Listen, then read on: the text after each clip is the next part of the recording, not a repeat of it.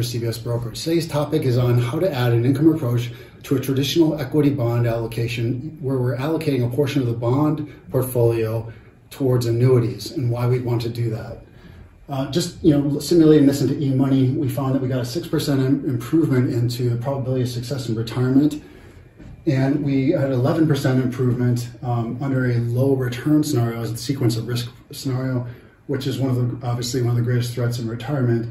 Um, and so that improved it by 11%. And what's so exciting about that, about that is that there's so few ways to improve the probability of success in retirement without looking at um, the client's behaviors.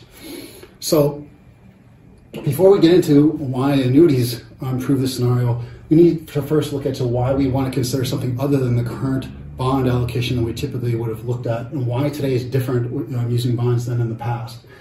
So the last 30 years, interest rates have, have declined pretty steadily, as you can see on this chart.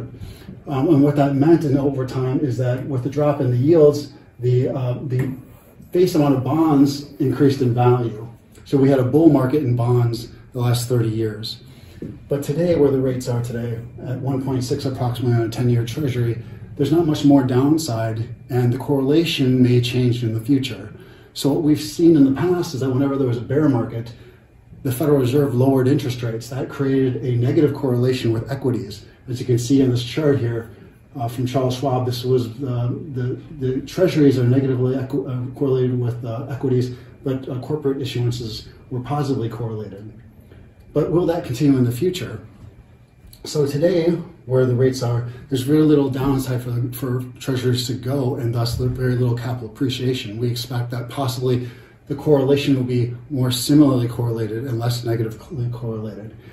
Um, as a result of the Federal Reserve's actions, whenever bonds were zigging, stocks were generally zagging, such that the clients experienced something of a smooth ride between the two over the years. But today, I think the reality is that bonds will be more of a ballast against the volatility of equities and less, less of a, provide less of a return in bear markets. So income is basically expensive today, and that's not just from yields on treasuries. The truth is that even equities, uh, the yields have declined. In fact, stock buybacks have out, have outpaced dividends from equities since 1997, all but one year. And so you see a chart here of, uh, from, from 2015 to today where the yield on equities have dropped by about 20%. If you go back further, where it was closer to 3.5% historically, that's just even, that, that rate has just declined even more.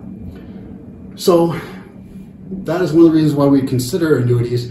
And annuities aren't, so, aren't this uh, other asset class or something. They're mostly in fixed income as well. So we're really allocating from fixed income to fixed income, just using uh, the the uh, general account of an insurer to do this. So we're getting our bond exposure through the insurers. And one of the reasons we want to do that is that the quality, of the maturity, and the duration of the bonds they would own are better than what our individual clients or would, would, be, would want exposure to, frankly, because they couldn't take the risk. But the insurer removes the market risk and the reinvestment risk. They have the, the quality and maturation of, of that would get them the yield that'd be more than the client could get on their own but they do expose themselves to company specific risk in the form of the insurer. And that's a topic for another video, but I'm fairly certain that that's, that is a fairly safe bet if you put yourself in the top 20 carriers in the US for life insurance or companies. Um, if I get a quote for 65 year old male, which I did get, uh, if I put 320,000, I would produce 16,390 on an income withdrawal rider for um, an annuity.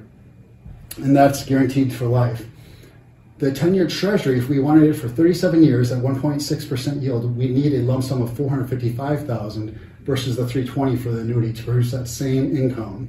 Okay, so going back to the uh, e-money, plugging the numbers in.